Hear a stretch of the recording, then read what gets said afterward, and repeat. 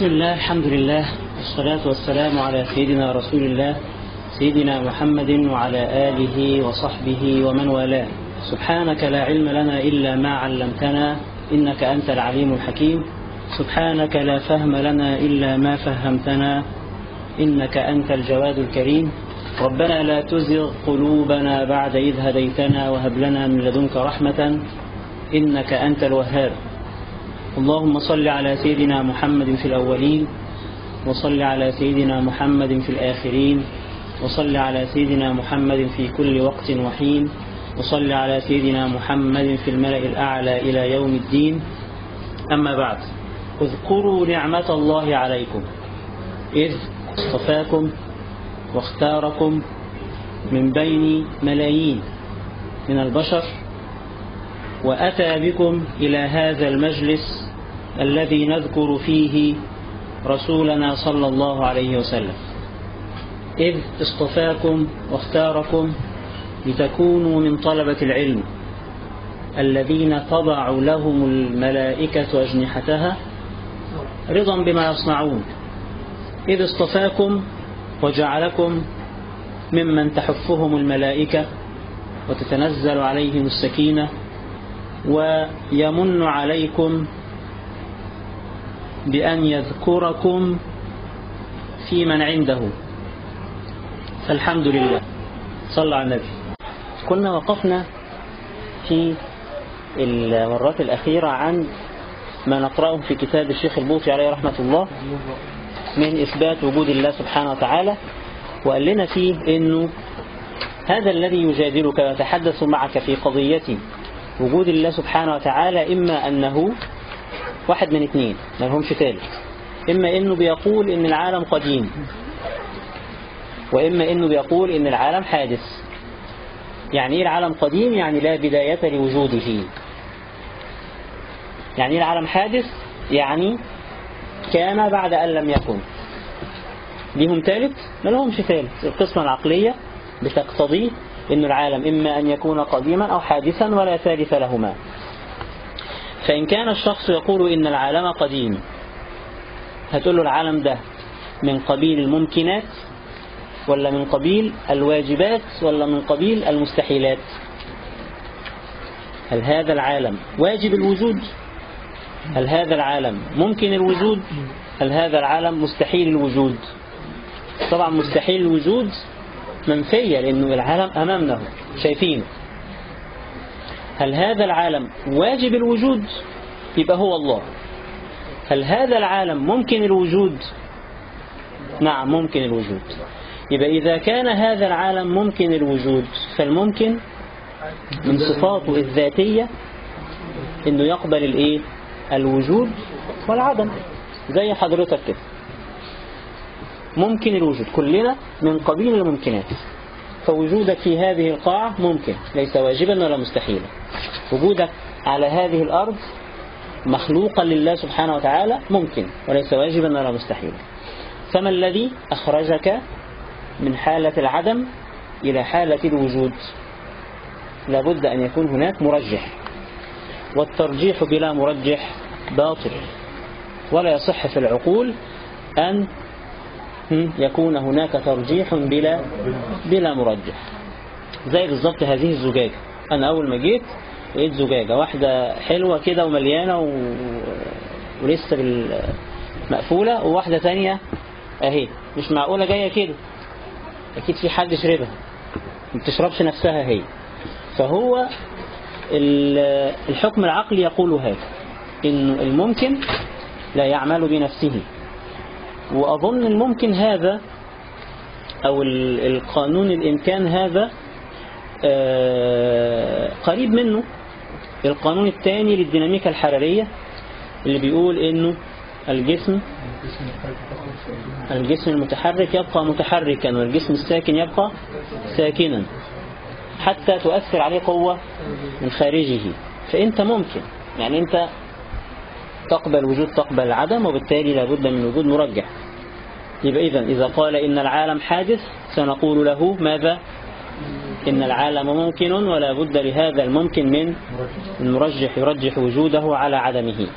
لأنه تساوي الوجود والعدم بالنسبة للإمكان سواء. فيش واحدة منهم تترجح على الأخرى. فما الذي رجح وجوده؟ لابد من مرجح. طيب لو قال إن العالم لا مش حادث ولا ممكن بل العالم قديم. آه هنقول له إذا قلت إن هذا العالم قديم فلا بد أن يكون أوجد نفسه بنفسه. لا يصح أن يكون العالم قديم وحادث في نفس الوقت. حادث معناها أنه في ليه موجد أخرجه من حالة العدم إلى حالة الوجود.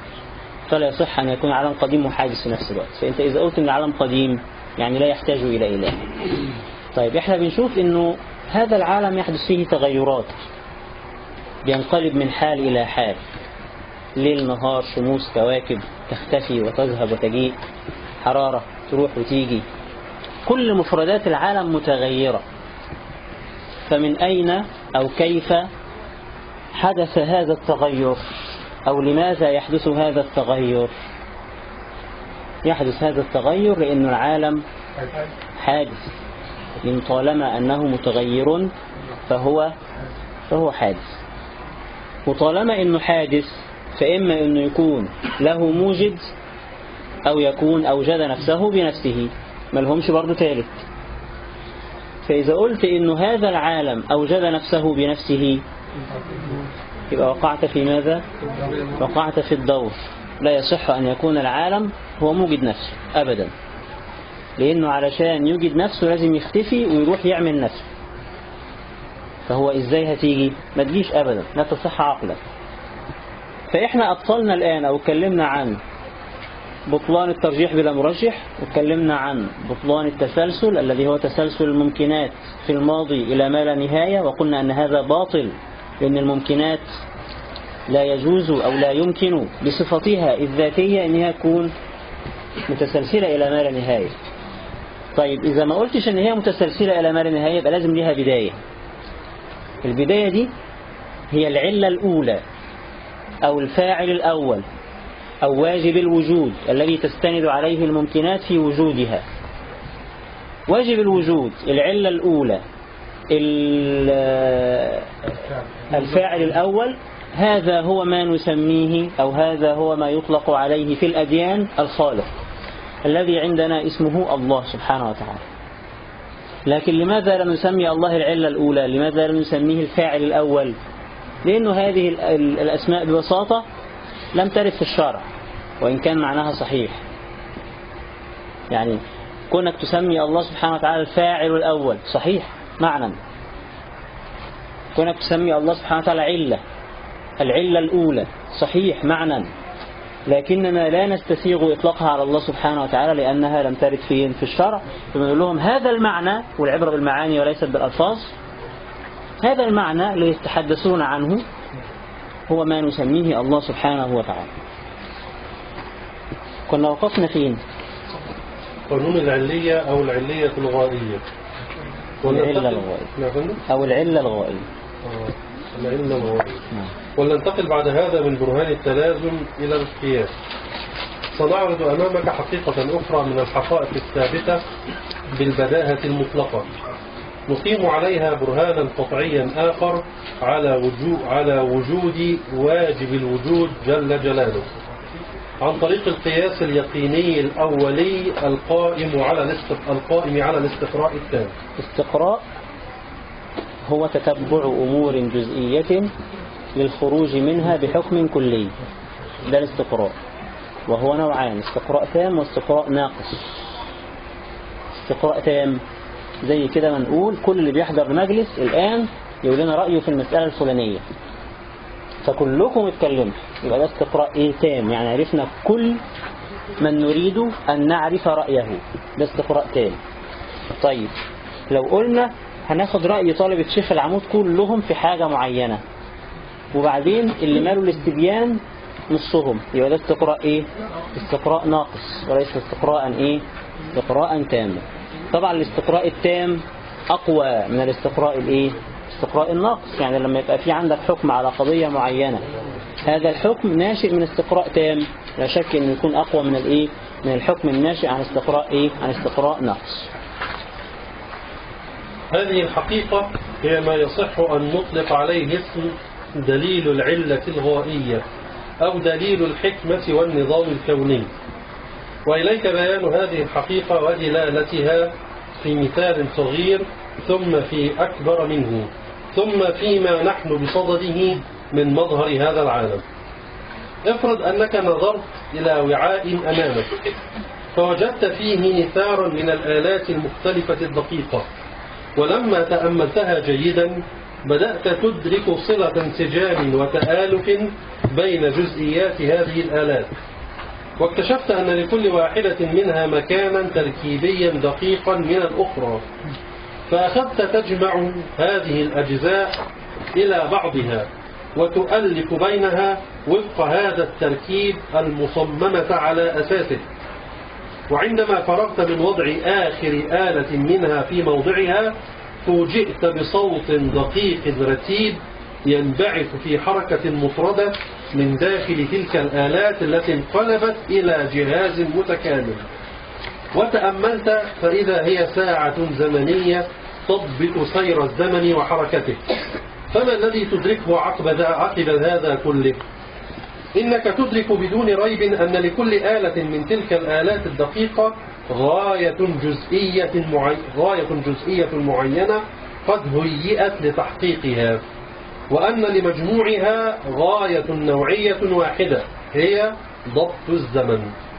وتدرك مع هذا بدون ريب أيضا أن هناك مدبرا وراء دفع هذه الآلات الدقيقة إلى تحقيق تلك الغاية النوعية العظيمة. افرض أنك دخلت إحدى المطارات العالمية الفخمة.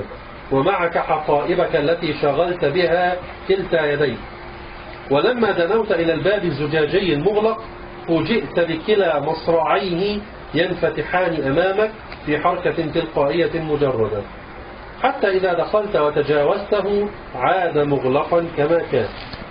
وبينما أنت تشكر هذه المصادفة العجيبة التلقائية ملتفتا إلى الباب في دهشة واستغراب إذا به ينفتح مرة أخرى في استقبال قادم آخر مثلك. وعندئذ وضعت حقائبك تتأمل. فرأيت أن المسألة تتكرر بانتظام كلما جاء قادم ودعت الحاجة. ولما رحت تبحث عن حقيقة الأمر بدافع التطلع الفكري لديك أدركت أن الباب يرتكز على جهاز خفي من تحته. سرعان ما يتأثر عند اجتياز شخص من فوقه. على نحو يدفع مصراعي الباب إلى التجافي والانفتاح. وينقدح في ذهنك بحكم البداهة أن لهذا الجهاز وحركته وحركته هذه علة غائية. هي تسهيل المرور على المسافر الذي قد لا تساعده يده لما يحمل من أمتعة لما يحمل معه من أمتعة على دفع الباب. ولما كانت هذه الغاية الإنسانية الرائعة مما لا يمكن أن تسند إلى الآلات الجامدة التي لا تحس ولا تعقل فقد كان لابد أن يكون هذا التصميم من تدبير بعض المفكرين. فهذا المعنى الذي ظهر لك في هذين المثالين ينطبق على كل الأمثلة المشابهة. فما من مجموعة تركيبية معينة تتناسق في سبيل في سبيل تحقيق غاية تطرد في تحقيقها إلا ومن وراء هذه الجملة عقل مدبر.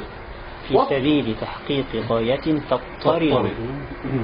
في سبيل تحقيق غاية تضطرد في تحقيقها إلا ومن وراء هذه الجملة عقل مدبر. واضرب مثلا لذلك جميع الأجهزة المتنوعة المختلفة وجميع ما يسمى بالمصنوعات من ألبسة وأثاث وفرش ودور وغير ذلك. فهذه هي الحقيقة البدهية التي يطلق عليها اسم دليل العلة الغائية أو دليل الحكمة والنظام في والنظام في الشيء. وهي أصل في مسألة الدليل على وجود الله. يقوم على علة مؤثرة ثابتة بالاستقراء التام. آه دليل العلة الغائية أو دليل الحكمة والنظام بعض الناس بيطلق عليه اسم دليل اتصال المنافع. اتصال المنافع. يعني هتلاقي الكون كله جزئياته متصلة ببعضها مع انفصالها. يعني هي وحدة في تعدد وتعدد يؤدي إلى وحدة. فالماء النازل من السماء هو الماء المناسب للأرض حتى تنبت الزرع. مع أن الزرع ليس من جنس الأرض والماء ليس من جنس الأرض ولا الزرع. لكن هذا الماء لهذه الأرض لينبت هذا هذا الزرع. فده دليل اتصال المنافع زي بالضبط مسألة اختلاف الأنواع وجود ذكر وأنثى. فلو افترضنا أن نظرية التصور صحيحة مثلا وطبقناها على الرجل على سبيل المثال ففين حواء بقى؟ وازاي تطورت معه بنفس المراحل. أنتوا بتقولوا انه بيحدث بيحدث كده إيه انتقاء طبيعي. فهل المراحل التي مرت بها الأنثى هي نفس المراحل التي مر بها الذكر؟ هل مصادفة وانتقاء الطبيعة يفعل هذا؟ وبعدين تلاقي إنه في اتصال منافع بين الذكر والأنثى. فالأنثى مخلوقة للرجل والرجل مخلوق للأنثى. بحيث لما يحدث تزاوج أو شيء يبقى مع أنهم منفصلين عن بعض. فإيه اللي حصل؟ في اتصال منافع. هذا الدليل أيضا بيسموه دلوقتي في الغرب بدليل الإيه التصميم التصميم الذكي. التصميم الذكي. نفس الفكر إنه العقل البسيط الذي لم يتعلم قط. بيقول مستحيل وده من عظمة ربنا سبحانه وتعالى إنه الدليل على وجوده مع إنه سبحانه وتعالى غيب خفي لكن الدليل على وجوده قدام عينك. لا تستطيع إنكاره بحيث يكون إنكار وجوده سبحانه وتعالى مكابرة أو عمى عمى بصيرة. فالعقل البسيط لأن ربنا أوجب على كل الناس الإيمان به فمش كل الناس هتدخل هارفرد علشان تدرك أنه لابد من وجود خالق. مش كل الناس لازم تتفلسف علشان تدرك أن لهذا الكون خالق. وبالتالي هذا الدليل البسيط القائم على أنه هذا النظام في اللي في الموجود في الكون يستحيل أن يكون بلا منظم. وأن القول بأن هذا الكون وجد بلا منظم كالقول تماما بأنه في واحد عليكم السلام وبركاته إن في واحد جاب حروف لا متناهية من الأبجدية ثم ألقاها في هذه الغرفة وجي بعد عشر سنين لقاها عاملة قصيدة من الشعر الجاهلي لوحدها أو لقاها عاملة رواية من روايات نجيب محفوظ أو لقاها عاملة قصيدة من قصائد شكسبير مثلا. إذا كنت حضرتك مصدق كده فأنت ممكن ببساطة تصدق إن هذا الكون وجد بلا منظم. أو من يصدق أن هذا النظام الكوني وجد بلا منظم بالضبط كالشخص الذي يريد أن يصنع طائرة طيارة بوينج مثلا اللي هي تعتبر أحدث أنواع الطائرات الآن. فهو هنقول له بس يعني بما إنك بتقول إنه هذا النظام الكوني وجد على فترات طويلة من الزمن وبعد محاولات متعددة نقول له خلاص هات حبة بلاستيك على حبة حديد على حبة أسلاك على حبة مية على حبة تراب على حبة أي حاجة وحطهم كده في صحراء.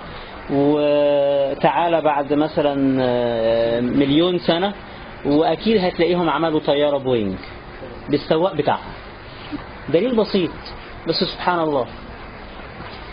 سبحان الله لذلك ربنا سبحانه وتعالى في القرآن لما يقول أفي الله شك عجيبة فوجود ربنا سبحانه وتعالى الخالق لهذا الكون مش محل شك عند أصحاب العقول البسيطة المحدودة اللي هم كل من يطلق عليه اسم عاقل يعني اللي هو ما ندوش قرية المجانين. يستطيع بسهولة إن هو يدرك أن لهذا الكون خالق. أفي الله شك فاطر السماوات والأرض جعل لكم من أنفسكم أزواجا. علشان تدرك حضرتك عن طريق العملية البسيطة اللي هي تعتبر يعني إيه؟ يفعلها كل الحيوانات الإنسان وكل الحيوانات عملية التزاوج البسيطة دي. فأنت لازم بالحاجة البسيطة دي اللي هي مسيطرة على أمخاخ معظم البشر دلوقتي. فبتقول له أو القرآن بيقول له هذا الشيء المسيطر على تفكيرك إنه غالب ال- الناس اللي هم البعاد عن الله هتلاقيهم أصحاب شهوات وأعظم شهوة موجودة في الإنسان هي شهوة هذه الشهوة شهوة ال- ال- ال- العلاقة العلاقة مع الجنس الآخر. فالقرآن بيقول له هذا الذي يسيطر عليك هذا الذي لا ينفك عن تفكيرك ينبغي أن يكون دافعا لك لتعلم أن لهذا الكون خالقا. بدليل اتصال المنافع فأنت إذا افترضنا أنك كواحد كفرد وجدت في نظرية التطور مثلا. طيب الأنثى حواء فين بقى. فكلام عجيب. طيب اتفضل. فإذا, فإذا انتقلت بعد ذلك لتنظر إلى بناء هذا الكون العجيب رأيت في تراكب أجزائه بعضها مع بعض وفي تراكب أجزاء أجزائه وفي تراكب ذراته الدقيقة التي لا تتجزأ تطابقا على أدق ما يمكن أن يتصور من معاني الدقة. ورأيت الأجزاء الصغيرة فيه مندفعة إلى تحقيق غايات معينة بالتآلف مع الأجزاء الأخرى. ورأيت بعد ذلك مجموع الأجزاء والجزئيات مندفعة إلى تحقيق غايات نوعية سامية ضمن ظروف وشروط دقيقة لو تخلف بعض منها أقل ما يمكن أن يتصوره الذهن من التخلف لما تحققت تلك الغايات بل لسرى الفساد إلى جميعها. ولو رحت تسرد وتصف مظاهر التنظيم والتناسق آه الفوضى لا تولد النظام. الفوضى لا تولد النظام أبدا. وبناء عليه وجود النظام يعني بداهة وجود منظم. حاجات بديهية لكن سبحان الله عقول وقلوب الخلق بتغفل عنها. طيب. ولو رحت تسرد وتصف مظاهر التنظيم والتناسق بين شتى المكونات التي تراها أمامك لضاق العمر كله عن استقصاء ذلك وتجليته. ولارتد إليك الفكر خاشئا كليلا من روعة التدبير العجيب الذي يسري بدءا من كهارب الذرات إلى الأرض وشتى ما عليها من مكونات إلى السماء وشتى ما فيها من أفلاك كلها تسير وفق نظام رتيب لا يتخلف. كلها تسير وفق نظام رتيب لا يتخلف وكلها يطوف حول غايات رائعة عجيبة ينتهي معظمها إلى خدمة هذا الإنسان ومصلحته. عشان كده القرآن جاء في آيات عديدة بالأمر بالتفكر وفي أنفسكم أفلا تبصرون؟ قل سيروا في الأرض فانظروا كيف بدأ الخلق وهكذا. لأن النظر التفكر سيولد العلم بالنظام العلم بالنظام الذي سيولد تلقائيا العلم بوجود المنظم. سبحانه وتعالى مرة كنت بتكلم مع واحد ملحد وبعدين زهقني على الآخر. عرفني يعني. طبعا العيال دول صفحاتهم كلها تخش عليها عليها طبعا إيه آه صور حب وهيام وحاجات زي وأشعار وكده يعني. ويا ريتها أشعار يعني؟ يا ريته كلام. مرة بتكلم معاه في هذه القضية. بيقول لي لو جبت لي دليل على وجود الله أنا هؤمن لكن مفيش دليل. فأنا قلت إيه؟ أنا هقول له كلمة كده وأسيبه وأمشي.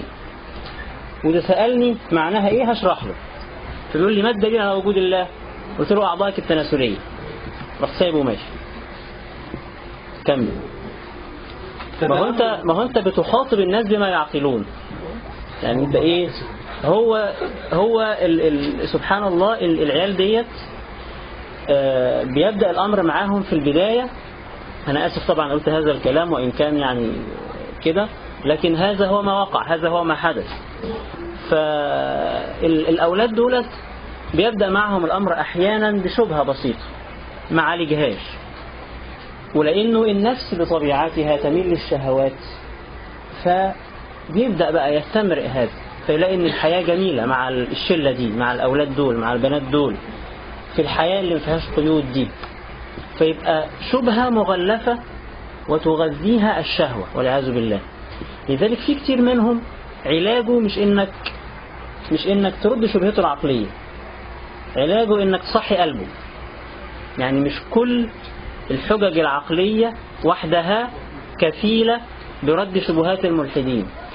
لكن يحتاج دائما أو يحتاج أحيانا مع الشبهات العقلية إلى إلى علاج قلبي علاج نفسي. سيدنا الشيخ محمد غزالي رحمة الله بيقول إنه الإلحاد مرض نفسي وليس شبهة عقلية. كثير منهم لما تيجي تتكلم معاهم ويفضفض لك شوية كده ويرجع لك بشد ذكرياته تلاقي إنه يا إما أبوه أو أبوها كان بيجبرها على الحجاب مثلا فخدت رد فعل قوي أو عنيف تجاه الدين كله وتجاه كل اللي يجي من الجهة دي. أو وهو تلاقيه مثلا اتولد في بيئة كلها أساطير وخرافات كان شيعي مثلا ولا حاجة وكل مولد أو كل موتة سيدنا الحسين تلاقيه عمال يضرب نفسه وينزل دم وبعدين لما ربنا يكرمه ويتعلم ويتنور ويدخل جامعات أوروبية ولا حاجة يحس إنه متخلف عقليا فيقول لك إيه اللي أنا كنت بعمله ده أكيد الدين ده كله غلط. وهكذا وهكذا. فكتير منهم لما يتكلم معاك تلاقي إن في مشكلة نفسية كانت هي بداية هذا الخيط.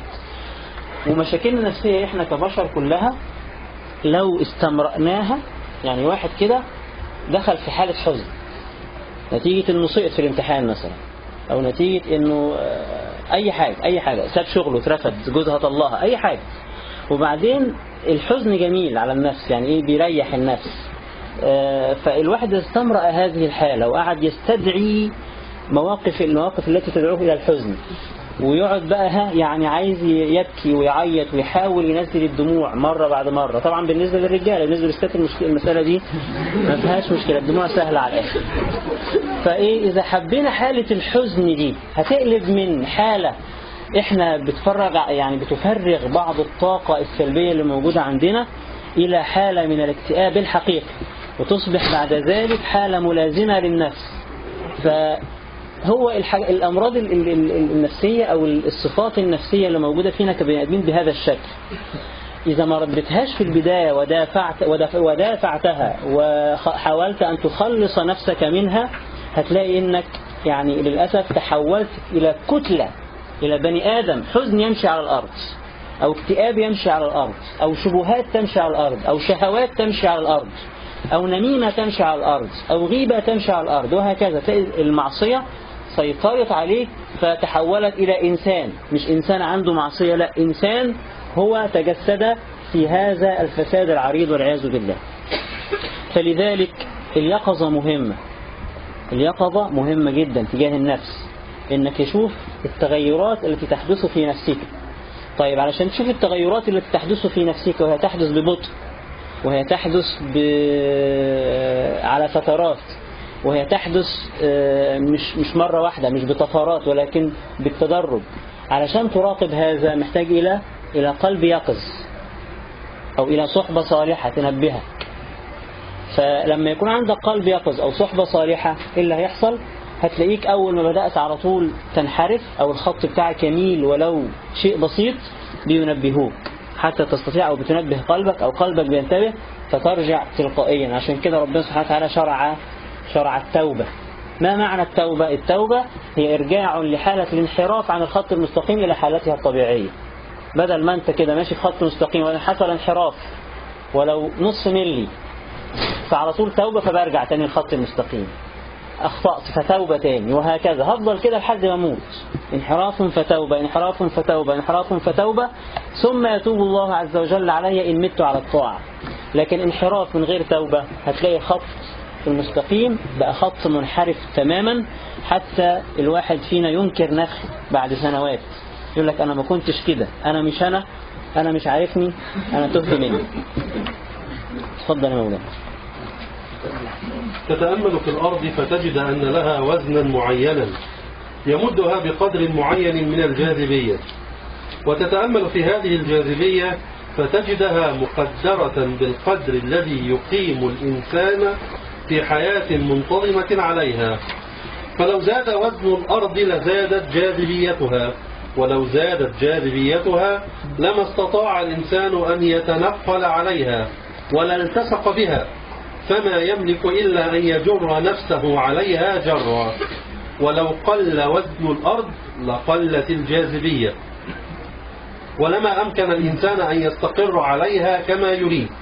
ولما أمكن الإنسان أن يستقر عليها كما يريد. ويدلك هذا بوضوح على أن للأرض غاية. هي أن تكون قرارا ومهادا للإنسان يجد عليها مستقره الآمن. وسبحان الله العظيم صدق ربنا حين قال إنما يخشى الله من عباده العلماء. العلم كل يوم لما بيكشف لنا عن دقة التنظيم في هذا الكون وإنه هذه الجاذبية التي هي على الأرض أو هذا القرب من الشمس أو هذا القدر من البعد عن الشمس أو هذا القدر من البعد عن الكواكب الأخرى. أو كل هذه الحسابات الفلكية الحسابية الدقيقة ها بتثبت وجود منظم. لكن سبحان الله أيضا لأن الهدى هدى الله. الهدى هدى الله. هذه الحسابات الفلكية لشدة دقتها ولشدة انتظامها عليكم السلام ولشدة انتظامها ولعدم تخلفها ها يركن إليها الإنسان بجهله فيظن أنها فاعلة بنفسها فينسب إليها قوة ذاتية. بدل ما تكون دليل أقوى على وجود المنظم ينسب إليها الإنسان الإيه؟ الفعل فالمرأة بتولد لأنها امرأة. الشمس بتطلع لأنها الشمس وهي كده. وهكذا. فينسب الإنسان الأفعال إلى من؟ لغير الله سبحانه وتعالى. نعم. وتتأمل في عينك الباصرة فتجدها في جملتها وتفصيلها قائمة على أدق قوانين الرؤية التي لا يزال يحار العلماء في فهمها. ثم تنظر فتجد قوانين الضياء في الكون قد مهدت لها وعبدت لها الطريق من قبل. فلا تشك في اجتماع هذه وتلك على غاية معينة هي أن ترى بهذين الثقبين العالم المرئي أجمع. ويتجسد أمامك هذا المعنى عندما تستمع إلى أي عالم وهو يصف لك دقائق العين مثلا وكيفية تركيبها. تجده لا يستعمل لام التعليل في كل جملة من كلامه. فتجده يقول عن الأعصاب الممتدة من المخ إلى العين إنها متصلة بها لتنقل إلى الرطوبة الجليدية فيها أخبار الصور القادمة فترتسم فيها. وإنما كانت العنابية تلك القشرة السوداء التي تحت القرنية ملونة بالسواد لتحصر الأجسام المشفة ورائها وراءها فلا ينتشر ما حصل فيها من الضياء. وإنما كانت القرنية محدودة محدودبة. محدودبة لتتجمع فيها الصور إلى آخره. وهكذا فإن الباحث لا يستطيع أن يحلل ويصف دون الاستعانة بلام التعليل. ولكن ما الذي يسوقنا إلى هذا التعليل الذي هو من أعقد عمليات الإرادة والإدراك؟ أيتصور العقل ولو, ولو لحظة واحدة ولو لحظة واحدة أن تكون مجموعة تلك الرطوبات واللزوجات والأعصاب هي التي تريد ثم تربط وتتوسط وتعلل وتتأمل في رئتك. فتجد أنها منسجمة مع نسبة مولد الحموضة في الجو. حتى لو ازدادت أو نقصت لما تهيأ لك الشرط الكامل للحياة. فلا تشك أن هذين المظهرين يلتقيان لتحقيق غاية متعلقة بتحقيق كامل الأسباب لحياتك. وتتأمل في ذاتك وما أودع فيها من القوى المدركة وأنت جزء من هذا الكون كما تعلم. فتجد أنك قد أعطيت سلاحا لا ينتهي العجب من شأنه ولا يقف عقل العالمين كلهم على حقيقته. وتتأمل فتعلم أن لوجود هذه القوة غاية معينة هي أن تسخر بها كل ما تراه حولك من مظاهر المكونات وأن تمتلك بها مقاليد الاستفادة منها وأن تسبر غورها وتصل إلى جذورها وقوى الفاعلية فيها. وقس على هذا الذي ذكرته لك سائر مظاهر الكون المختلفة التي تراها أو يصل فكرك إليها. فسترى أنها جميعا تسير نحو غايات معينة تمد هذا الوجود بأدق صور التناسق والتنظيم وتمد الإنسان بالرحمة والقدرة على كل ما هو بسبيله من شؤونه المختلفة. إذا علمت هذا فلا مناص من أن تستيقن ما يلي. كما أننا نقول أن ظهور العلة الغائية في الأجهزة والمصنوعات الإنسانية المختلفة دليل قطعي على وجود مدبر صممها على هذا النحو إذ لا تملك الأجهزة الجامدة أن تفكر لتسير بنفسها نحو غايات معينة. فإن ظهور العلة الغائية في هذا الجهاز الأعظم الذي هو الكون بهذا المظهر العجيب دليل قطعي أيضا على أن من ورائه مدبرا له يدفعه في طريق غاياته هذه. وهي غايات لا يمكن أن تلتقي أجهزة البشر كلها متعاونة على استهداف مثلها. هذه الحقيقة الواضحة التي تشكل برهانا يقينيا آخر على وجود الله جل جلاله والتي يسميها الغربيون العلة الغائية. وعلماء الكلام دليل الحكمة والتناسق آه أو يسموه دليل العناية أو يسموه دليل اتصال المنافع. كل دي أسماء لمسمى واحد. هي التي يظل القرآن يوجه العقول إليها بأساليب رائعة مختلفة يفهمها الناس على اختلاف مستوياتهم وثقافاتهم. وهو برهان يخرس ألسنة الملحدين ويسد دونهم منافذ الحيل كلها. مين شاف فيلم العلامات يا شباب؟ فيلم العلامات The Signs مين شافه؟ آه يا ريت نشوف. يا ريت نشوف. فيلم مهم جدا. غير أن من أراد الله عز وجل أن يحيق به عقابه الخالد إذ لم يشكر نعمة العقل الذي في رأسه فيستعمله في البحث الحر يجعل عقله في غطاء من هذه البراهين البدائية القطعية كلها. ولذلك لا تعجب أن تجد قائلا منهم يقول إن كل ما تقوله يحتمل أن يكون بمحض الصدفة بمحض المصادفة ويذهب يمثل كيف أن ذلك يحتمل يحتمل أو يحتمل. فيقول إننا لو نثرنا كمية كبيرة من الحروف المطبعية على سطح فسيح أملا في أن يتشكل منها ديوان شعر لمثل هوميروس أو فيكتور هوجو وتكررت هذه المحاولة سنوات طويلة تقدر بالملايين فربما يحصل في كل مرة أو مرات من نثر تلك الحروف تشكل جزء من تلك القصائد ثم جزء جزء آخر وهكذا حتى يكتمل الديوان خلال الزمن الطويل ذاك فأنت إذا تأملت في هذا الكلام وجدت الرجل يهدي بما لا يعقل. بل إنك لا تعجب من أن يصل به الهذيان وهو يصطنع البحث والفكر إلى هذا الحد. ولأنقل لك في تصوير هذا الهذيان ما يقوله تعقيبا عليه العلامة الأستاذ مصطفى صبري في كتابه موقف العقل. آه الشيخ مصطفى صبري آخر شيخ إسلام في الدولة العثمانية. عمل كتاب عظيم جدا إن شاء الله ربنا ييسر ونقرأه. كتاب موقف العقل والعلم والعالم من رب العالمين وعباده المرسلين. مش بيتكلم بس عن رد الشبهات الإلحادية المعاصرة فقط ولكن بيتكلم عن منشأها. فبدأ يتكلم عن استعمار الغرب بدأ يتكلم عن تفريط العلماء يتكلم عن الأزهر الجديد وماذا حدث من تخريب في الأزهر تسبب في انتشار الإلحاد وهكذا.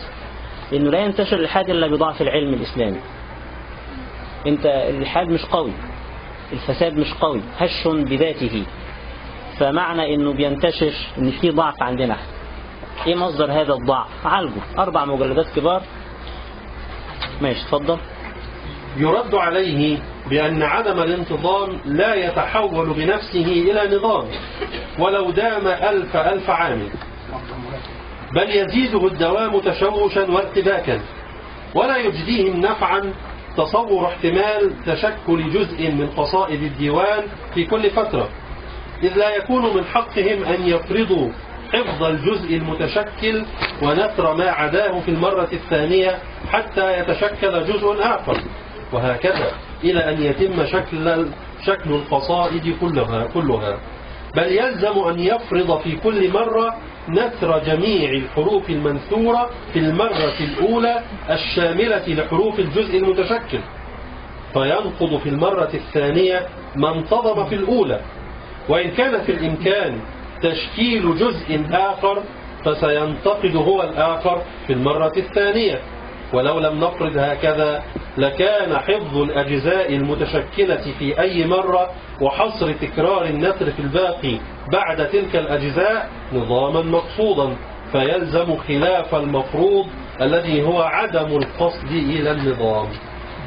وليس هذا هو مبلغ هذيانهم العجيب بل إنهم لا يشتطون عن ذلك إلى إنكار أن تكون العيون مخلوقة فينا للإبصار. والآذان للسمع والعقل للتفكر والفهم. إذ لو لم ينكروا ذلك للزم عليهم القول بأنهم مخلوقة لعلل بأنها مخلوقة لعلل غائية وتكون حينئذ مصنوعة لهذه الفائدة من قبل صانع فعل ذلك عن إرادة. فيتهربون عن هذا اللزوم. ولو كلفهم ذلك أن ينهضوا بأعباء مكابرة لا يتصورها العقل. فتراهم يقولون إن العين التقت مع الإبصار بمحض, بمحض المصادفة. والتقت الأذن بالسمع بمحض المصادفة أيضا. والتقى هذا المخ في جوف الرأس مع الفكر بمحض المصادفة أيضا. وأنا أقول لعمري ولعمر الحق إن هذا الهذيان نفسه من أبلغ البراهين الناطقة بوجود الله. علشان كده الأنبياء عليهم السلام عندما أتوا لأقوامهم ما كانوش بيركزوا على فكرة وجود الله بقدر تركيزهم على صفات الله. يعني ما كانوش بيقضوا وقت طويل في نقطة إثبات أن لهذا الكون خالقا. أبدا. ولكن كان معظم جدال الأنبياء مع أقوامهم في حتة صفات هذا الخالق. وهل يصح أن يكون جمادا لا حياة فيه إذا كانوا بيعبدوا الأصنام؟ أو هل يصح أن يكون غائبا إذا كانوا بيعبدوا النجوم أو محدودا إذا كانوا بيعبدوا النجوم والكواكب أيضا وهكذا. فالحديث كله مش عن وجود المدبر سبحانه وتعالى مش عن وجود الخالق سبحانه وتعالى ولكن عن صفاته. ولأجل أن العقول بنفسها لا تستطيع الوصول إلى خالق هذا الكون أيضا. لأنه العقل بمفرده يستطيع أن يصل إلى إثبات خالق لهذا الكون. زي ما قلنا ببراهين عقلية بسيطة إن هذا الكون من جملة الممكنات ولا يصح أن يكون أو يوجد الممكن بلا مرجح. أن هذا الكون فيه نظام ولا بد أن يكون لهذا النظام من منظم. دي حاجة فطرية بديهية بسيطة جدا. طيب من هو هذا المنظم؟ ما صفاته؟ آه ماذا يريد منا؟ آه علاقتنا به كيف تكون؟ علشان كده ربنا بعث من الأنبياء لأنه هذه الأمور أو الإجابة عن هذه الأسئلة لن تكون أبدا بمحض العقل. النبي يجي يقول لك صفات الله. الواجب تجاه ربنا سبحانه وتعالى. يجي يقول لك قوانين تشريعية تسير عليها. يجي يقول لك ما الذي سيحدث بعد موتك لأن كل هذه أمور لا يستقل العقل بإدراكها وإنما العقل يستطيع بمفرده أن يثبت وجود الله سبحانه وتعالى فقط. والماتريدية بيقولوا أن يستطيع أن يصل بمفرده إلى إثبات الوحدانية أيضا. الوحدانية صفة من صفات الله. فبيقولوا أنه لا العقل كمان يستطيع أن يصل بمفرده إلى أن هذا الكون واحد خالق هذا الكون واحد خالق واحد. فلأجل هذا لأجل التعرف على صفات الله سبحانه وتعالى بعث الله عز وجل الأنبياء حيث لا تستطيع العقول بمفردها أن تصل إلى هذا. فما كان للعقل أن يتعطل عن الاهتداء إلى أوضح ما هو واضح أمامه. ولو لو أن سيره إلى فهم الأشياء كان بشكل آلي مجرد. أما وقد تعطل عن الفهم رغم وجوده ووجود كل مقومات الفهم بعد أن جنح صاحبه إلى الإلحاد في ذات الله واستكبر عن التأمل المنصف فإنه لأبلغ دليل على أن هذه القوة إنما هي من تدبير فاطر حكيم أوقفها عن الإنتاج في رأس هذا المستكبر. جزاء لاستكباره وتحقيقا لسبب وتحقيقا لسبب عقابه الخالد يوم القيامة. فإذا تأملت في هذه البراهين التي عرضناها أدركت أن كلمة الإلحاد لا تعني شيئا أكثر من مخاصمة العقل مهما كان نوع هذا الإلحاد ومنبعه. آه هو دايما كده سبحان الله العظيم. أهل الضلال والفساد والكفر والعناد بيعملوا بهذا المثل السائر اللي هو رمتني بدائها وانسلت. ما هو الفاسد بيفكر إن كل الناس فسد زيه. فهو لأنه بيخاصم بديهيات العقل. بديهيات العقول الإلحاد يخاصمها. ولأنه تلبس بهذا ووقع في هذا وهو يدرك في عقله الباطن هذا. علشان يدفع عن نفسه هذه التهمة يعمل إيه؟ يرمينا إحنا. بقلة العقل. يرمينا إحنا بالتخلف يرمينا إحنا بإننا ماشيين كده مغمضين عيننا ورا أي حد بيقول لنا كده وهكذا. فهو تلاقيه على طول عمال يوزع تهم العقلانية ولا عقلانية على الناس بحسب أهواء فإذا تأملت في هذه البراهين التي عرضناها أدركت أن كلمة الإلحاد لا تعني شيئا أكثر من مخاصمة العقل مهما كان نوع هذا وهتلاقي المتاجرة بالعقل بقى. يعني إيه هو يقول لك أنتوا بتتاجروا بالدين مثلا أو بتستغلوا الدين فهم بيتاجروا بالإيه؟ بيتاجروا بالعقل. فتلاقيه بيوزع تهم العقلانية على من يريد من الناس. وهتلاقي إن الجماعة دولت درجات في استخدام كلمة العقل. وبعدين لما الموضوع يزيد معاهم قوي ويكبر معاهم قوي هتلاقيهم بدأوا يؤلهوا العقل. عقل مين؟ عقله هو. طب ما أنا كمان عندي عقل ولكني لا أقبل كلامك يا سيدي. فالعقل في حد ذاته ليس قيمة مجردة. لذلك إحنا بنقول إنه الذي يحسن أو يقبح ليست هي العقول ولكن الذي يحسن ويقبح إيه؟ الشرع الشريف مش عقلي ولا عقلك. لأنه عقولنا من أين يأتيها الحسن والقبح؟ من نفسها يبقى دور. يبقى لازم يأتيها الحسن والقبح منين؟ من الخالق سبحانه وتعالى الذي خلقها والذي حدد لها ماذا تفعل وماذا لا تفعل. نعم. مهما كان نوع هذا الإلحاد ومنبعه ومهما كانت فلسفته أو دوافعه. ولكنك لا تجد في أنواع الإلحاد أوغل في المكابرة أوغل في المكابرة والمخاصمة للعقل. من ذلك النوع الذي يقوم على الفلسفة المادية التي تزعم أن المادة هي أم الوجود وأبوها. وأن جميع مظاهر الكون إنما تنبعث وتتصاعد عن طريق تلاقي المتناقضات وتقارعها حيث يتغلب الأفضل ويذهب الآخر جفاء. وهي فلسفة نمت وترعرعت يوما ما في جهة من جهات العالم. ثم إنها قبت وذوت واضمحلت وتقوض بناؤها الفكري الذي كانت قد أقيمت فيه. ولم يبق إلا هيكل سياسي مجرد يمسكها وتمسكه. آه ده كان موجود قامت دولة كاملة في القرن العشرين اللي هي الاتحاد السوفيتي على فكرة المادية الجدلية على فكرة الإلحاد. ولم يمت في التاريخ من البشر بقدر من مات على يد هذه الدولة. عدد البشر اللي قتلوا نتيجة هذه الدولة وسياسات هذه الدولة? يعني يمكن ما حصلش في تاريخ البشرية كله. ويرجع يقول لك العنف في الإسلام. أو الأديان هي سبب العنف أو إنه الإسلام هو دين الإرهاب أو إنه الإسلام هو دين القتل. وتيجي تشوف عدد اللي ماتوا في حياة الرسول صلى الله عليه وسلم كلها من المسلمين والكفار ما تعدوش الألف. في كل معارك الرسول صلى الله عليه وسلم. ومعظمها كانت معارك للدفاع عن النفس. فالحمد لله رب العالمين هذه الدولة انزوت وخلاص ودلوقتي حتى بعد ما الاتحاد السوفيتي سقط بدأوا يبنوا الكنائس تاني ويبقى يدوا حرية دينية إلى حد ما. طبعا المسلمين شافوا ويلات في الاتحاد السوفيتي. آه لكن للأسف آه ما زالت هذه الدولة لها أيتام في العالم الإسلامي. أيتام اللي بيسموهم أيتام اليسار الأحزاب اليسارية في العالم الإسلامي. ما زالت مع أنه النظرية بتاعتها فاشلة نظريا ورد عليها مع أنه دولتها فاشلة عمليا. وهذه الدولة مع أنها بقت فترة من الزمن لكن كان بقائها مش مرتبط بتطبيقها للنظرية بقدر ما بقائها كان مرتبط بتخليها عن بعض أجزاء هذه النظرية. يعني هم ما طبقوش الشيوعية الكاملة في أي وقت من الأوقات. لكن كل ما كانوا يتخلوا عن جزء من النظرية كانت تديهم دفعة إلى الأمام فتستمر سنة أو سنتين أو ثلاثة كمان وهكذا. فبقاء هذه الدولة قام على أو قام أو كان قائما بمقدار تخليهم عن النظرية.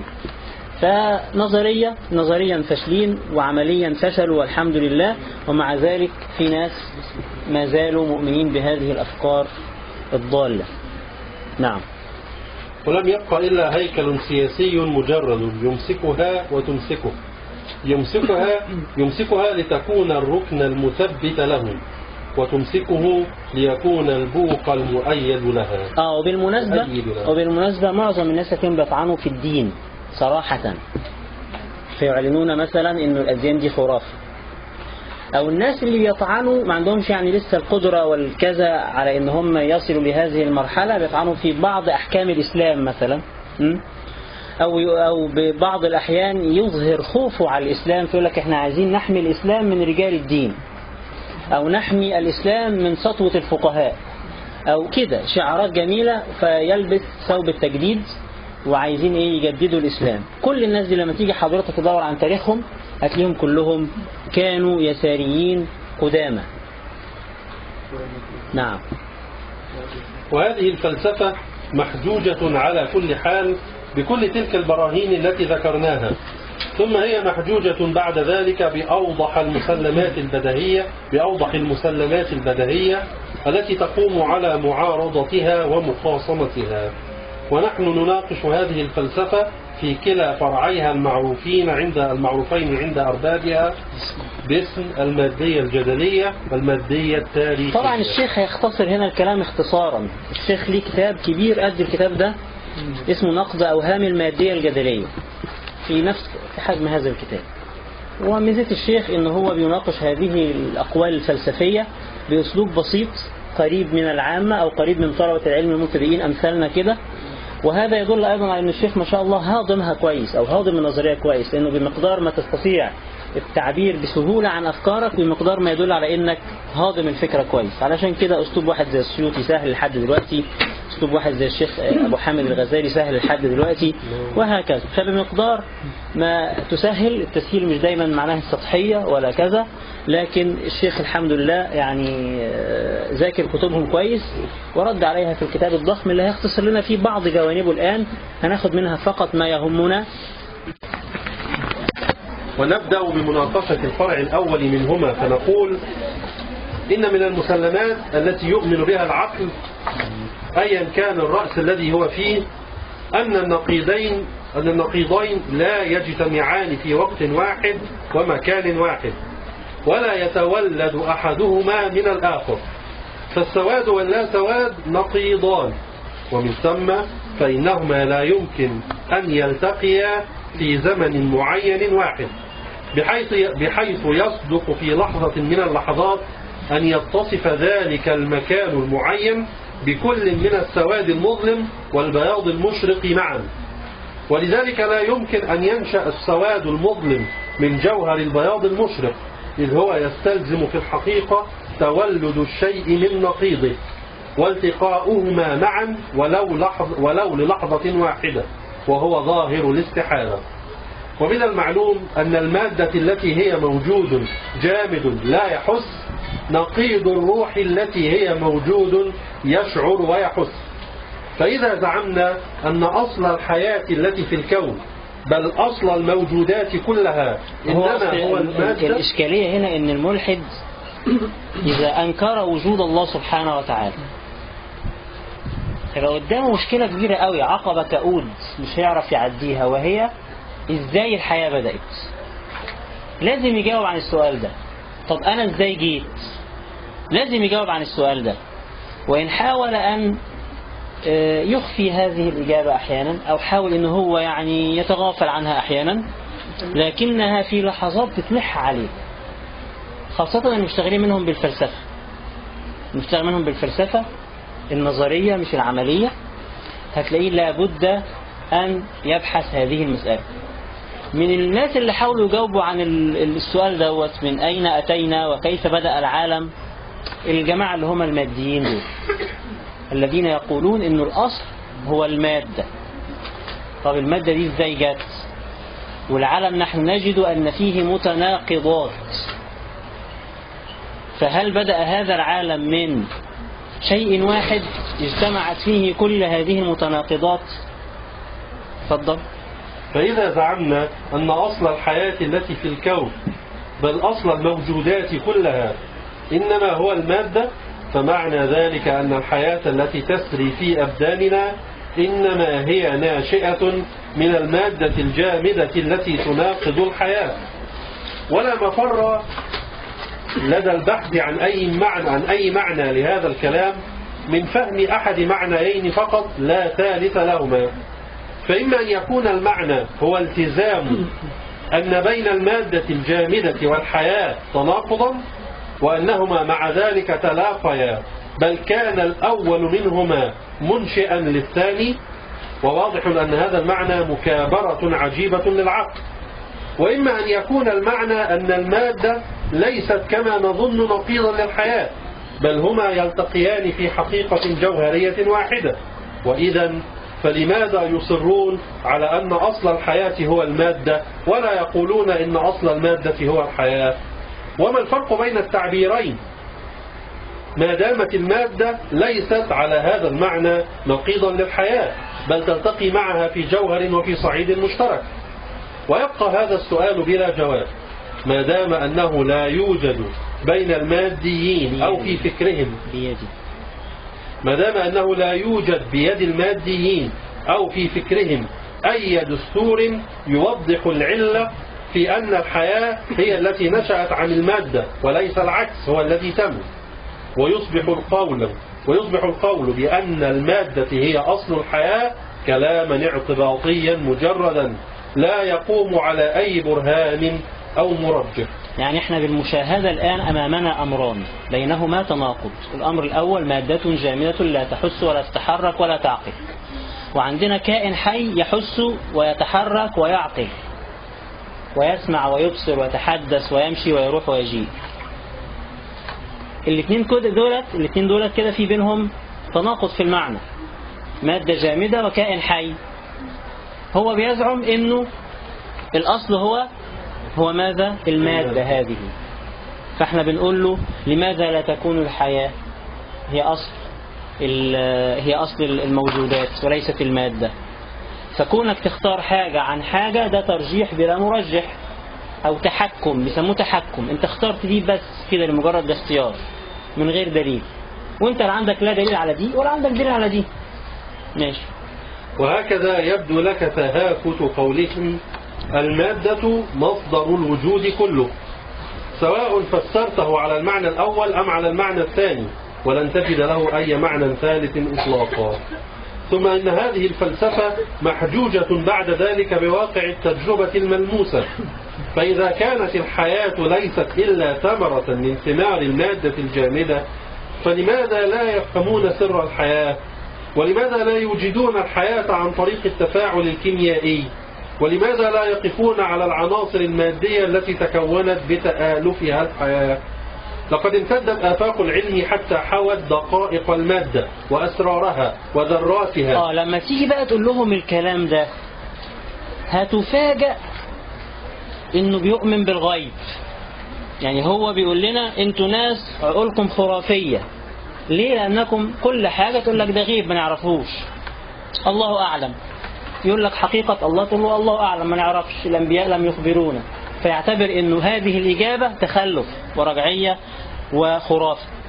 فلما تيجي بقى حضرتك تقول له هذا الكلام لما تقول له إنه إذا كنت بتقول إنه المادة هي أصل الحياة العلم دلوقتي تقدم.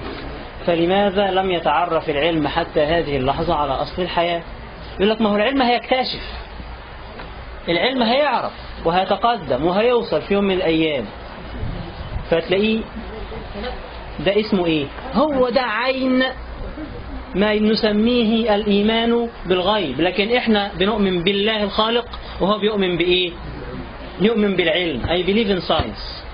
هم حتى بيقولوا كده. I believe in science. أصبح الإيمان دين العلم دلوقتي العلوم التجريبية أصبحت دين دلوقتي. يعني في علمائها هم الأنبياء. يعني ما يقوله عالم الأحياء منهم أو ما يقول عالم الفيزياء منهم أو الفلك منهم كأنه كلام نبي. حتى وإن كان الكلام الذي يقوله هذا الشخص خارج نطاق تخصصه. يعني ستيفن هوكينج لما يتكلم في حاجة غير الفيزياء خالص ويتكلم في الفلسفة ويعك الدنيا ويناقض القوانين البديهية اللي بيتعلمها طلبة أولى فلسفة في أي كلية. هو عنده كلام ستيفن هوكينج هو المصدق. ده معناه إيه؟ معناه أنه اعتبر إنه ستيفن هوكينج زي النبي. عشان كده ربنا بعت لنا الأنبياء لأنه الإيمان بشخص لا يكذب فطرة بشرية. وعشان كده في غيب لأنه الإيمان بالغيب فطرة بشرية. دايما كده في حاجة لازم يبقى في حاجة غامضة كده في العقل يحاول الوصول إليها. فأنت لو ما أمنتش بالغيب الحق بالأنبياء المعصومون بحق بالله الحق هتلاقي نفسك استبدلت الأنبياء الذين لا يكذبون المصدقون بعلماء الفيزياء والفلك الذين يقولون الصدق دائما. لو حضرتك ما أمنتش بالغيب الحق الذي جاءت به الأنبياء هتلاقيك دايما بتحيل على غيب باطل وتنسبه إلى باطل. لو ما آمنتش بالإله الحق هتلاقيك بتخترع إله. إما أن يكون نفسك أو العلم أو أي حاجة. فالإيمان بالله بالنبوات بالغيب أو بالمعاد فطرة بشرية. هتلاقي لذلك كل البشر عندهم الثلاثية دي. لكن بعضهم بحق وبعضهم بباطل. لقد امتدت آفاق العلم حتى حوت دقائق المادة وأسرارها وذراتها وحتى استجلى العلم دقائق الذرة نفسها ومكمن الطاقات التي فيها. فكيف نعقل أن ينبسط سلطان العلم إلى هذا الحد؟ فيما يتعلق بالمادة التي هي المنشأ والأصل ثم يتقلص سلطانه كل التقلص ويفقد فقدانا مطلقا فيما يتعلق بالحياة التي هي ثمرة وفرع وهل صدق إنسان أن عالما وقف على التحليل الدقيق لشجرة من أدنى جذعها إلى أعلى ورقة فيها فلما أراد أن يعلم علما عن ثمارها استغلقت عليه ولم يفهم منها أي شيء ولعلك تقول فما أدراك أنهم لم يبحثوا عن الحياة ولم يفهموا شيئا عنها؟ والجواب أن كلمة علماء العالم كلهم قد اجتمعت على أن العلم لم يتوصل إلى فهم شيء عن حقيقة الحياة. آه الفلكيين والفيزيائيين اللي بيحترموا نفسهم وبيحترموا تخصصهم لما تيجي تقول له هل توصل العلم إلى وجود الله؟ حتى وإن كان ملحد. يقول لك إجابة هذا السؤال ليست في الفلك ليست في الفيزياء وإنما في الفلسفة. واحد بيحترم نفسه. مش بناء على أبحاثي المعملية أقدر أقول فقط الله موجود أو غير موجود.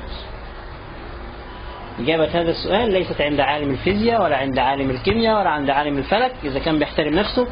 إجابة هذا السؤال في الفلسفة أو في البحث في الإلهيات أو في الأديان. وأن موضوع الروح يدخل ضمن القضايا الغيبية التي لا سلطان للعلم عليها. فأول الذين اعترفوا بهذا الجهل أنجلز زميل ماركس في وضع الفلسفة المادية وترويجها. فهو يقول في كتابه أنتي ظهر ما نصه إنه يقصد العلم الطبيعي لم ينجح بعد في إنتاج الهيولة البسيطة والأجسام الأحينية الأخرى. الهيولة يا جماعة اللي هي أصل مادة الكون. الهيولة اللي هي الإيه؟ أصل الكون. أو العنصر الأولي. أو أصل المادة. الهيولة. وهنقولها إن شاء الله لما نبدأ في في الانتباهات. لما ندخل عندنا في أول مبحث حديث عن الهيولة والصورة. ماشي؟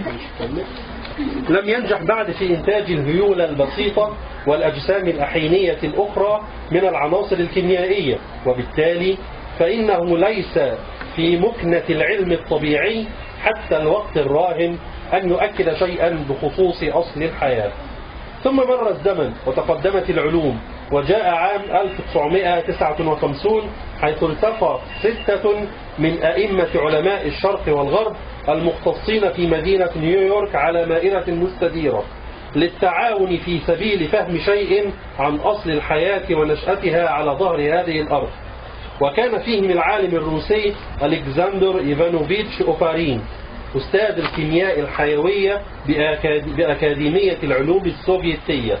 وأكثر المهتمين بأمر نشأة الحياة. وانتهى المؤتمر كما بدأ.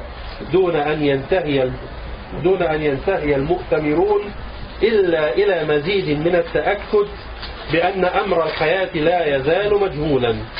ولا مطمع في أن يصل إليه العلم يوما ما. وكان أول من صدق على هذا ذلك العالم الروسي نفسه. ومجمل القول كما يقول الدكتور أنور عبد العليم أن العلم لم يتوصل بعد إلى كشف هذا السر الأعظم المعروف بالحياة كما يتضح أن هذه المشكلة هي أبعد مدى من أن تكون مجرد بناء مواد عضوية معينة وظواهر طبيعية وكيميائية خاصة. وتقتضي الحكمة الإلهية العظيمة أن تزداد هذه الحقيقة تأكدا ووضوحا على لسان العالم الروسي بالذات. ففي العام المذكور 1959 تناقلت وكالات الأنباء وفي مقدمتها وكالة الأنباء السوفيتية تاس ما يلي.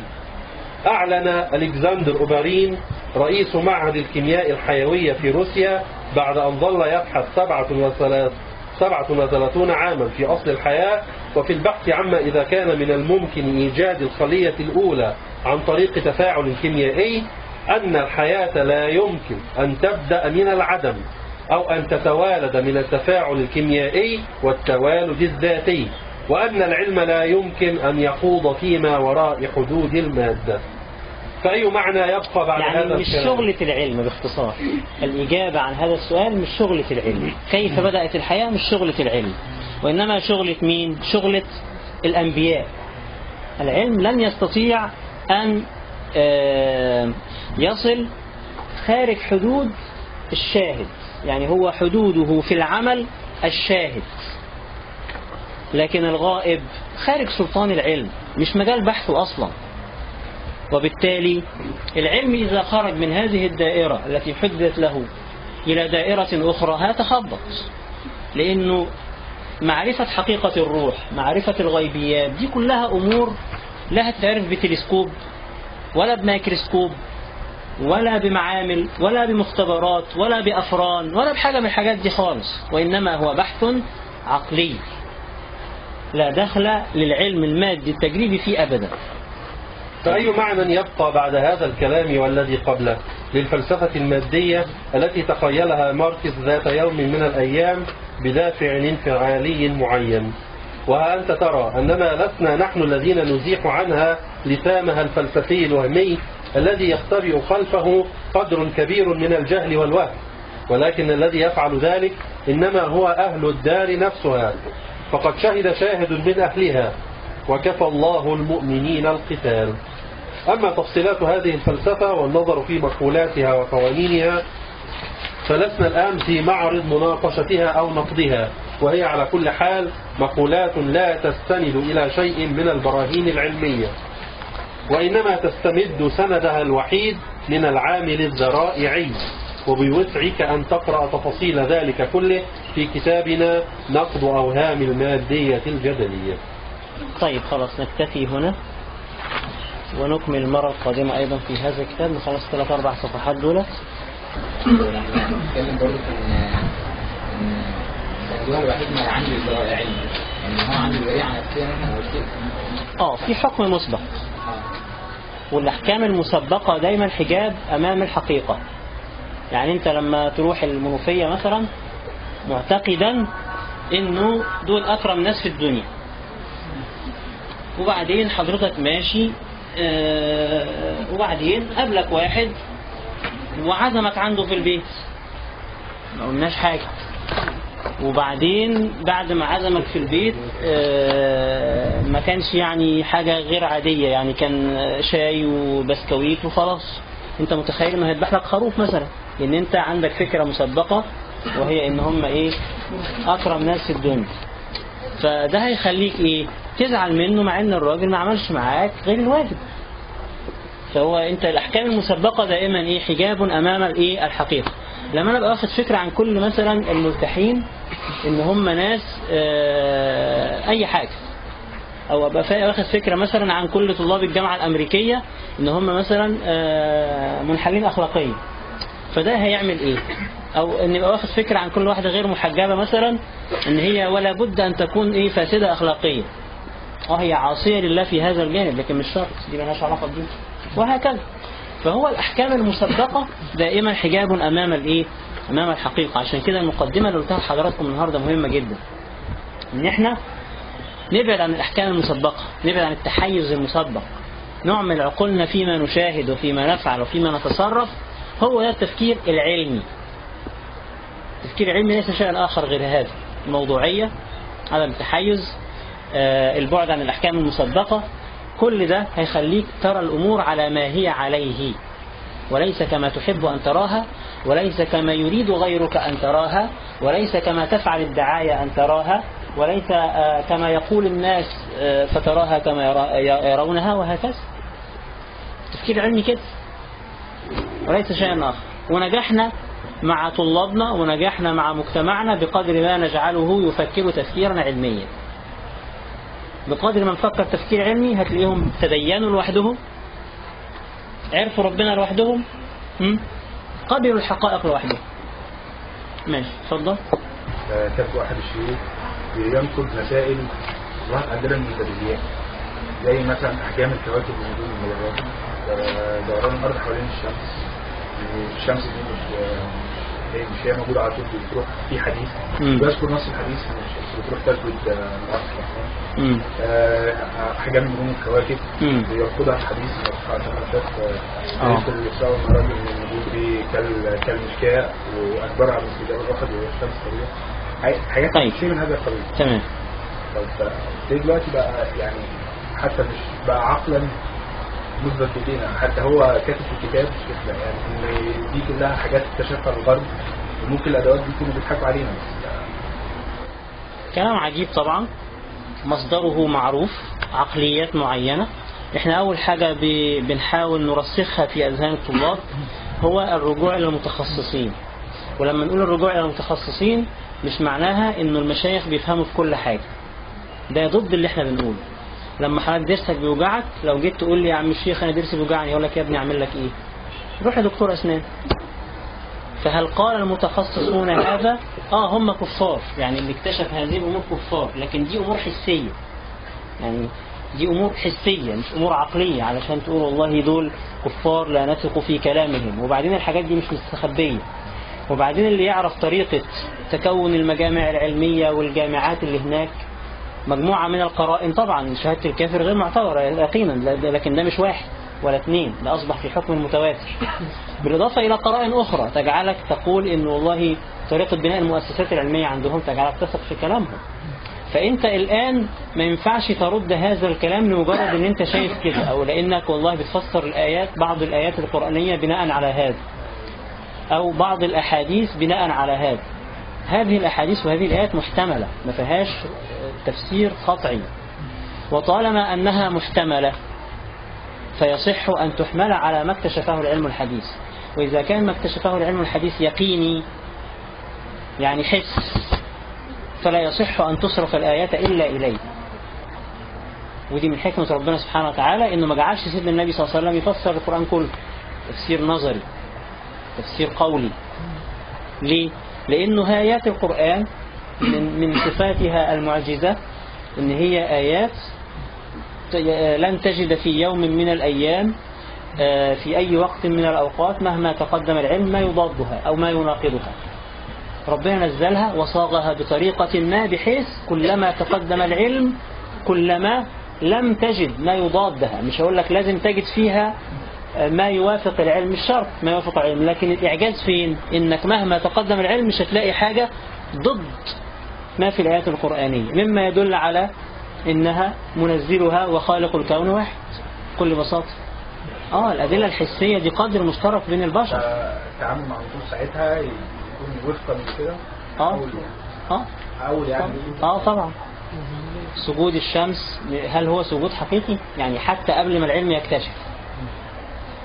في حديث آه في روايات بتقول إن الشمس بتسجد كل يوم تحت العرش. هل لما يتقال لك أنت كده إن الشمس تسجد تحت العرش هل أنت بتتخيل الشمس كائن لإيدين ورجلين وبيروح يسجد بنفس الكيفية التي تسجد أنت بها ولا سجودا يليق بها؟ سجودا يليق بها. فهي الآية الحديث مؤول ابتداء يعني محدش أبدا فه- فهمه على حقيقته. ال- الذي هو سجود كسجود بني آدم بوضع الجبهة على الأرض. محدش قال كده فهي مؤولة بمعنى خضوعها لله سبحانه وتعالى. بمعنى أن الله عز وجل ممسك لها في كل لحظة. بمعنى أنها لا تطلع من ذاتها. بمعنى أنها ليس فيها قوة ذاتية ها تخليها تشرق وتغرب بنفسها ولكنها في كل لحظة ممسوكة بالله سبحانه وتعالى. إن الله يمسك السماوات والأرض أن تزولا ففي كل لحظة ربنا ما زال ممسك لهذا الكون. مش خلقه وخلاه يتصرف هو بروحه. ده المعنى اللي كل العقلاء بيفهموه. اللغة فيها مجال اللغة فيها كناية اللغة فيها استعارة. لغة العرب كده والقرآن بلسان عربي مبين ففيه كل هذا. فأنت بقى هتيجي طبعا نفس الناس اللي بيقولوا دولت اليوم بينكروا المجاز. ما هي سلسلة سلسلة من الأخطاء العلمية التي تولد أخطاء آه، سبحان الله أخطاء في كل مجالات الحياة. فنسأل الله لهم الهداية. كيف هنقول إيه؟ هذا السجود؟ ها. بيتحدث عن العلة الغائية فبيقول ليس معنى استدلالنا هذه الظاهرة في الكون على وجود الله؟ أننا نعلل أفعال الله بالعلل الغائية. إذ ليس شيئا من موجودات الكون وسائط حقيقية إلى تحقيق غايات معينة عند الله عز آه. وجل. طيب. الله عز وجل آه، لا يصح سبحانه أن نعلل أفعاله بالأغراض. حضرتك بتشتغل علشان تجيب فلوس أو علشان تشتري بيت أو علشان تجيب عربية. حضرتك بتسافر الجامعة علشان تتعلم أو علشان تحسن وضعك الاجتماعي أو علشان أي حاجة. بتتجوز علشان تجيب أولاد أو علشان تقرف مراتك أي حاجة. فإيه المهم إنه في علشان دي في أفعال مين؟ في أفعال البشر. طيب هل يمكن أن توصف إرادة الله عز وجل بهذا؟ أبدا لا يصح الله عز وجل لا يفعل شيئا لغرض ليه؟ إيه هو الغرض؟ الغرض هو الباعث على الفعل الغرض هو إيه؟ الباعث على الفعل هل ربنا في بواعث لفعله؟ أبدا هذه البواعث منفية عن الله لأنك لو قلت أن ربنا في بواعث لفعله سبحانه وتعالى فهذا يعني احتياجه سبحانه وتعالى لباعث والاحتياج ليس من صفات الإله الاحتياج دليل العجز والعجز مناقض لمفهوم الألوهية وبالتالي لا نصف أو لا نعلل أفعال الله عز وجل بالأغراض. طيب ما هو في حكم في القرآن؟ ربنا بيقول لنا شرعت كذا من أجل كذا. آه ده من أجلنا إحنا. وليس من أجله هو سبحانه وتعالى. واضح كده يا شباب؟ في علم اسمه علم آداب البحث والمناظرة. إزاي العلماء بيعلمونا إزاي ترد على الأفكار المنحرفة دي. فيقول لك أول خطوة النقد. إنك تهدم فكرتك. فبتقول له إن أنت فكرتك والله دي آه، فيها تحكم فتسقط بعد خلاص ما هدمتها تعمل إيه؟ تعمل بقى تجيب المعارضة. يبقى النقد بعده الايه المعارضة تجيب الفكرة الصحيحة التي ينبغي أن تكون. مش شرط حتى تكوني وانت بتنقضيه إنك مؤمنة بما, بما تقولينه. أنت بس بتبيني إن أنت كلامك ده داخل في حيز التحكم فقط. من غير ما تكوني ملتزمة لصحة الكلام اللي بتقوليه. أنا بس عايز ألفت نظره يعني أنا مش ملتزم بهذا ولا أؤمن بهذا. لكن أنا فقط عايز ألفت نظر أقول له خد بالك. أنت في قولك هذا متحكم لأنك إذا قلت إنه الحياة فيها نقيضين المادة والحياة عندما تختار منهما واحدا فأنت كده متحكم. هو هنا ما قالش كده هو هنا هو لما فرض الفرضية الأولى قالوا لو أنت قلت إن المادة والحياة ب- الم- الحياة من المادة يبقى ده اجتماع نقيضين وفرض الفكرة دي. جه بعد كده قال له آه، وإما أن يكون. ده ال- الاقتراح الثاني هو بيقول له أنت قدامك حاجتين. هو قال له إيه في الرد قال له أنت قدامك حاجة من اتنين. إما إن يكونوا الاثنين حاجة واحدة فيجتمع النقيضان آه. وهذا مستحيل. أو تقول إنه ده غير ده. فليه اخترت ده وسبت ده؟ بكل بساطة. لا ده بيقول له هنا آه، وإما أن يكون معنى الم- أن المادة ليست كما نظن ناقضا للحياه يعني معنى كده إن هو بينفي أو بيدي صفة الحياة للمادة. أيوه فيجتمع النقيضان هو هنا ما بيعملش اجتماع نقيضين أمال هو بيقول إيه؟ ولا مفر لدى البحث. يقول لك أهو. ولا مفر لدى البحث. عن أي معنى لهذا الكلام؟ من فهم أحد معنيين فقط لا ثالث لهما. إيه هو الكلام اللي إحنا عايزين نفهمه؟ إنه المادة أصل الوجود. خلاص كده؟ فبيقول له أنت بتقول هذا الكلام كلامك ده ليه معنى من اتنين ما لهمش ثالث المعنى الأول فإما أن يكون المعنى هو التزام هو التزام أن بين المادة الجامدة والحياة تناقضا. المادة دي لها حقيقة ثابتة مستقرة تختلف تماما عن حقيقة الحياة. وأنهما مع ذلك التناقض يعني والاختلاف تلاقيا بل كان الأول منهما منشئا للثاني. وواضح أن هذا المعنى مكابرة. ليه؟ لأنهما نقيضان. خلاص كده؟ طيب. وإما أن يكون المعنى أن المادة ليست كما نظن نقيضا للحياة بل هما يلتقيان في حقيقة جوهرية واحدة. فتحولت المادة عن أن تكون لا مادة. وتحولت الحياة عن أن تكون لا حياة حتى تتحد مع المادة. وإذا فلماذا يصرون على أن أصل الحياة هو المادة؟ ولا يقولون أصل المادة هو الحياة. طالما هما الاثنين التقوا وتحول كل واحد منهم عن أصله. ولو فرضنا إن النقيضين دولت صحوا. خلاص كده؟ لو افترضنا إن النقيضين دولت اجتماعهم أصبح صحيحا. خلاص كده؟ أنا ما ال- إن هم متنقضين لكن فرض إن هم ممكن يجتمعوا. هو هنا بيقول بل هما يلتقيان في حقيقة جوهرية واحدة. يعني إيه يلتقيان في حقيقة جوهرية واحدة؟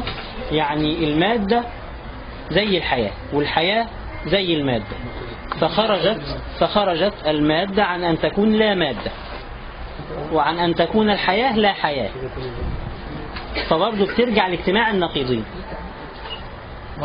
برضه أنت بتقول في مادة. خلاص كده؟ وبعدين بتقول لي التقوا ده احتمال تاني. التقوا فأصبح كل واحد منهم لا مادة. فده نقيض الفرض الأول إن في مادة. لما يلتقي بغيره ويصبح حقيقة جوهرية أخرى يبقى أصبح مادة لا مادة. ما فيش تضاد أصلا كده. في تضاد وفي تناقض. مادة لا مادة. حتى لو سلمنا لهذا التناقض إيه اللي خلاك تختار المادة هي أصل الحياة ولا تقول إن الحياة هو أصل المادة؟ حتى لو افترضنا إن هذا التناقض واقع وسلمنا لك به هو ده اللي هو بينقض هو هنا يعني الكلمة دي المادة ليست كما نظن نقيضا للحياة. كلام الله. يعني كلام لا يعني. في حاجة برضو بيسموها التسليم. يعني إيه؟ أنا كلامك. هذا آه أنا كلامك هذا لا أقول به لكن هسلم إنه ممكن يجتمع النقيضان. آه، ده احتمال. يعني هو بيورد الاحتمالات الممكنة ثم يرد كل احتمال على حد لا مش احتمال ممكن. هو احتمال ممكن في الناحية العقلية بس. في الوجود العقلي وليس في الوجود الخارجي.